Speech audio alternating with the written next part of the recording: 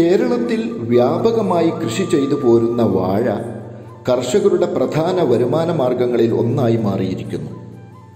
പക്ഷേ ശാസ്ത്രീയമായ അറിവുകളുടെയും മികവുറ്റ വള പ്രയോഗങ്ങളുടെയും അപര്യാപ്തത കേരളത്തിലെ കർഷകർക്ക് ലാഭകരമായി കൃഷി ചെയ്യുന്നതിന് തടസ്സമായി നിൽക്കുന്നു. ഫിലിപ്പൈൻസ് പോലുള്ള രാജ്യങ്ങൾ വാഴക്കൃഷിയിൽ വളരെയധികം പുരോഗതി പ്രാപിച്ചിട്ടുണ്ട്. ഈ രാജ്യങ്ങളിൽ പ്രായോഗികമായി ഉപയോഗിക്കുന്ന രീതികൾ സമ്മിശ്ര രീതികളാണ്. യൂറിയയും പൊട്ടാഷും അമിതമായി ഉപയോഗിച്ച് കൃഷി ചെയ്യുന്നതാണ് നമ്മുടെ കൃഷിക്കാരിൽ പലരുടെയും രീതി. തുടർച്ചയായ രാസവള പ്രയോഗത്തിലൂടെ കൃഷിഭൂമിയിലെ മണ്ണിന്റെ ഘടന നഷ്ടപ്പെട്ട് വാഴയ്ക്ക് മുമ്പെങ്ങുമില്ലാത്ത വിധം രോഗങ്ങൾ പിടിപെടുന്നതായി കാണുന്നു. ഇങ്ങനെ വിളവ് കുറയുകയും കൃഷി നഷ്ടമായി മാറുകയും ചെയ്യുന്നു.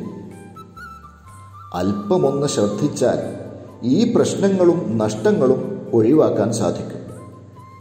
രാസവളങ്ങൾ പ്രയോഗിക്കുമ്പോൾ അതിന്റെ കൂടെ P L T soil top up ചേർത്തുപയോഗിക്കുക ഇത് മണ്ണിലെ കാർബൺ കണ്ടന്റ് വർദ്ധിപ്പിച്ച് നഷ്ടമായ മണ്ണിന്റെ ഘടന ശരിയാക്കുകയും ചെടിയുടെ വേരുകൾ അധികരിപ്പിച്ച് ചെടികളുടെ ഊർജസ്വലത വർദ്ധിപ്പിക്കുകയും ചെയ്യുന്നു.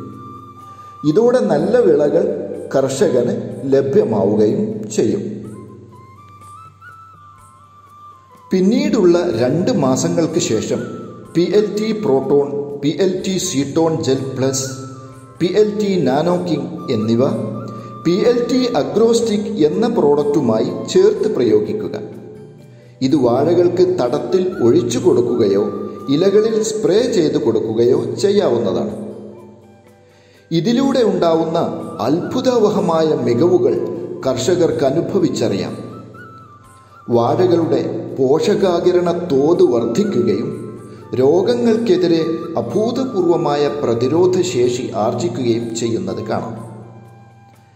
ഇലകളിൽ സ്പ്രേ ചെയ്യുമ്പോൾ ചെടികൾ ഇത് പെട്ടെന്ന് ആകിരണം ചെയ്തെടുക്കുന്നു. അതിലൂടെ വാഴയുടെ പ്രവർത്തനങ്ങൾ മെച്ചപ്പെടുകയും കൂടുതൽ ട്രൈസ് എലിമെൻസും മൈക്രോ ന്യൂട്രിയൻസും ലഭിക്കുകയും ചെയ്യുന്നു. പി എൽ ടി പ്രോട്ടോണിൽ അടങ്ങിയ പ്രോട്ടീൻ സസ്യങ്ങളുടെ വളർച്ചയും കായ് പിടിക്കാനുള്ള ശേഷിയും വർദ്ധിപ്പിക്കുന്നു.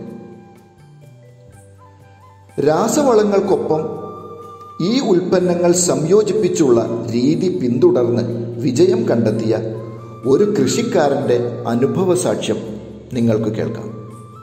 സാർ ഇവിടെ കാര്യമായിട്ട് ചെയ്ത ഒരു കൃഷി രീതികളൊക്കെ എന്തൊക്കെയാണെന്ന് പ്രകടിപ്പിക്കാം സാധാരണ നമ്മൾ ഈ വാഴക്കൃഷി എന്ന് പറയുമ്പോൾ കന്ന് നട്ട് കൊല വെട്ടുന്നിടം വരെ ഒരു അഞ്ച് വളപ്രയോഗം നടത്താം രണ്ടാം മാസം രാസവളപ്രയോഗത്തിന് ശേഷം ഒരു പരീക്ഷണം എന്ന നിലയിൽ പി എൽ ടിയുടെ പ്രോട്ടോൺ എന്ന് പറഞ്ഞൊരു മരുന്നുണ്ട്. അത് ഞാൻ ഉപയോഗിച്ച് നോക്കി.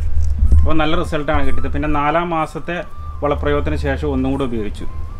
അപ്പം നമുക്ക് ടോട്ടൽ എന്താണെന്ന് വെച്ച് കഴിഞ്ഞാൽ കൂലിച്ചെലവ് ഒരുപാട് കുറഞ്ഞു. അഞ്ച് തവണ വളം ഇടേണ്ടത് വെറും രണ്ട് തവണയായിട്ട് കുറയുകയും ചെയ്തു. അതിന്റെ ഒരു ബെനിഫിറ്റ് നമുക്കുണ്ടാവും. ഇലകളിലൂടെയുള്ള വളപ്രയോഗങ്ങളിലൂടെ വളത്തിന്റെ അളവ് കുറക്കാനോ ഗണ്യമായ രീതിയിൽ ഉൽപാദന മികവ് വർദ്ധിപ്പിക്കാനും സാധിക്കുന്നതോടൊപ്പം വരും വർഷങ്ങളിലേക്ക് മണ്ണ് കേടുവരാതെ സൂക്ഷിക്കുന്നതിനും സാധിക്കുന്നു.